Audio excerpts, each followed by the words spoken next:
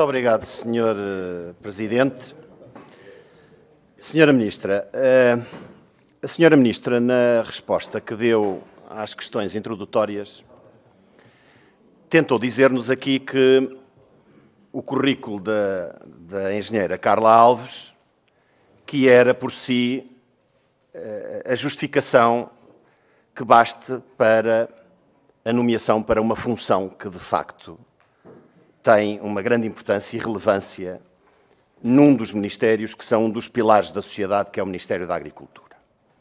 Ministério esse que, e recordava aqui, para que tenhamos noção da dimensão e da importância, para além da gestão do nosso território nacional, para além da, da importantíssima uh, uh, importância que tem na sustentabilidade alimentar, o Ministério da Agricultura tem em mãos a gestão de mais de 6 mil milhões de fundos comunitários do PEPAC. E, portanto, estamos a falar aqui quase duas TAPs, do dinheiro que o Estado já injetou na TAP. Estamos a falar de volumes muito significativos. E estamos a falar da nomeação de uma secretária de Estado da Agricultura que teria em mãos a gestão de parte destes fundos comunitários. A senhora Ministra tentou dizer-nos que Carla Alves era uma cidadã exemplar. Mas eu, permitam-me que faça aqui um parênteses. Não foi certamente a análise curricular que a senhora Ministra fez, aliás, não deve ter sido a análise curricular na área da agricultura que o senhor Primeiro-Ministro escolheu Vossa Excelência para esta pasta. E também não foi na base curricular que Vossa Excelência nomeou a 23 de agosto um cidadão que estava no desemprego, estava a receber o subsídio de desemprego. Estou a falar de Jorge Rosa, ex-presidente de Câmara de Mértola, que Vossa Excelência designou como técnico especialista na sua área da especialidade. Bem, este cidadão era especialista e licenciado em gestão bancária, mas a sua vida foi política. Era militante do Partido Socialista, candidato do Partido Socialista, desempenhou funções autárquicas 21 anos.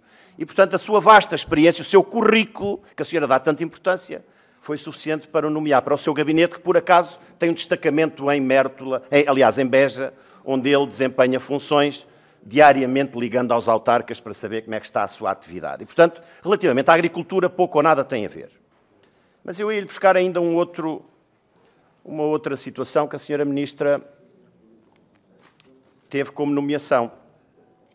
Isto para lhe dizer que o seu cuidado deveria ser outro na escolha das pessoas que estão com enorme peso de responsabilidade no Ministério da Agricultura. Luísa Sá Gomes, não sei se este nome lhe diz alguma coisa. Esta funcionária do MAI, num julgamento sobre esquema de favores no Ministério da Administração Interna, foi condenada em abril de 2018 num tribunal de primeira instância a dois e três meses de prisão, com pena suspensa. A condenação ficou a dever-se a dois crimes de abuso de poder, um crime de participação económica em negócio e um crime de falsificação de documentos de forma qualificada, por ter auxiliado João Alberto Carreira, Correia a viciar contratos públicos. Bem, esta senhora, em 28 de junho de 2022, por despacho de eh, Maria do Céu Antunes, foi exercer o cargo de Subdiretora-Geral de Alimentação e Veterinária. E, portanto, o seu currículo de nomeações suspeitas e. Eh, eu não, não sei que termo é que se há de utilizar aqui mais para atribuir estas, estas nomeações, mas de facto são de uma ligeireza que uh, deve espantar uh, toda a gente e coloca acima de tudo o Sr. Primeiro-Ministro num papel muito uh, difícil. Eu bem sei que a Sra. Ministra, na linha política, tem estado, porque a senhora é militante do Partido Socialista, tem estado sempre no apoio mais direto à linha do António Costa, mas eu não sei se isso será suficiente para uh, que todos estes erros que se venham a cometer no Ministério da Agricultura uh, não tenham outro tipo de consequências. Mas voltemos à Carla Alves, aquela que tem um currículo invejável. A Carla Alves não é só casada com a ex-autarca que tem uma série de processos. Ela própria, ela própria, basta fazer como qualquer um fez para preparar esta audição ir eh, ao Google, ao Dr. Google, e percebe-se o envolvimento que Carla Alves tem. Mas eu recordo-vos com recortes de imprensa regionais e nacionais. Bem, estava envolvida num processo criminal onde o marido e ela, numa conta conjunta, tinham 700 mil euros. 700 mil euros que aparecem na conta, eh, não sei bem de onde é que isto apareceu. O que é que é isto, oh, doutora Berta Nunes? Tenha lá paciência que a senhora é corresponsável disto, que é dirigente política e devia ter alertado. E, portanto, peço-lhe alguma ponderação. Assim, deve ser a última pessoa a falar nesta sala, porque o seu tempo de falar deveria ter sido antes a alertar. Porque a senhora ministra, se não sabia, a senhora devia-lhe ter dito. E, portanto, tenha lá ponderação. Eu sei que incomoda isto porque a senhora sabia. Toda a gente no Distrito de Bragança sabia desta situação. Mas voltemos ao caso. Uh, a senhora engenheira Carla Alves eh, foi publicitado em diferentes órgãos de comunicação social regionais que suspeitava da apropriação ilícita de 68 mil euros por causa de uma gestão da associação onde ela pertencia, da Associação da Raça Bízara. E, portanto, isto está-lhe no currículo. De uma das partes que a senhora Ministra referiu aqui, ela tem a suspeição de enriquecimento de 68 mil euros em 2009. Bem, ela tem uma suspeição de que usurpou uma quinta por uso capião, ela e o marido, a propriedade dela também, eh, em que o tribunal decretou que ela fez uma usurpação por uso campeão e teve que devolver, teve que pagar à legítima proprietária da quinta. Esta engenheira Carla Alves teve problemas com a gestão de fundos comunitários. Na AngSub, que era uma empresa que passava faturas de formação que a engenheira Carla Alves não chegava a dar.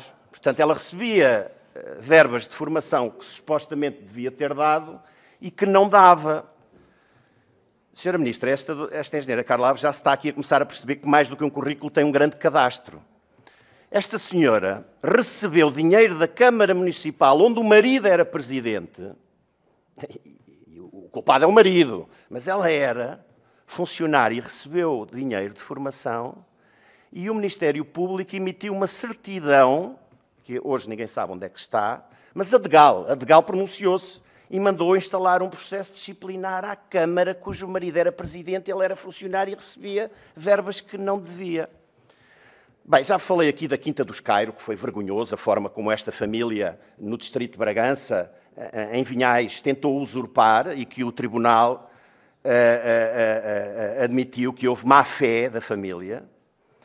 E, de facto, não há ninguém no distrito de Bragança, no Conselho de Vinhais, que não tenha conhecimento desta atividade que esta suposta a secretária de Estado que ia chegar ao seu governo com uma responsabilidade imensa na gestão de fundos comunitários, 6 mil milhões. Repito este número, quase que me leva a crer, numa linguagem um pouco agrária, dizer que a senhora quase que estava a cometer, a meter uma raposa num galinheiro. E que, para além disto, as contas, aquela conta que a senhora diz que, ou que ela lhe disse a si que eh, não tinha implicação, havia mais do que uma conta arrestada pelo banco. Uma que ela tinha com o marido, onde apareceram estes 700 mil euros, caídos do céu, mas mais, a Caixa de Crédito Agrícola tinha um processo de penhora com esta senhora, onde ela estava envolvida, e o marido também, por negócios de imóveis, onde havia investigação patrimonial e financeira ao património dos arguídos e apurou-se que detém património incongruente, não declarado fiscalmente no valor global 3,5 milhões de euros, montante que o Ministério Público também quer que seja declarado perdido a favor do Estado. Senhora Ministra, tantos processos, tantos cargos, e a senhora foi escolher com base num currículo que acabou de nos citar aqui para desempenhar as funções de Secretária de Estado. Valha-nos Deus.